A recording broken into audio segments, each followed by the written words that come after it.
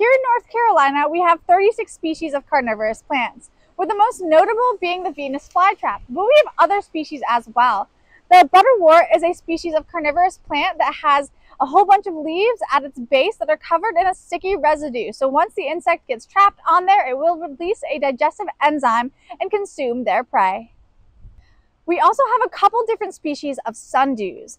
They have a sticky pad that is covered with sticky hairs, and once the prey animal gets trapped in the sticky hairs, they will use that pad to curl around itself, sending out digestive enzymes to consume their prey, leaving just the exoskeleton behind. Then we have the bladderworts, which are mainly aquatic species of carnivorous plant.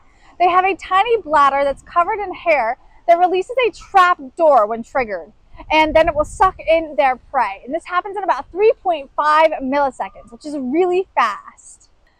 Lastly, we have pitcher plants, which are long stemmed and they are filled with rainwater and digestive enzymes. They make it really easy for a bug or an insect to get down into the pitcher, but have a really hard time getting out.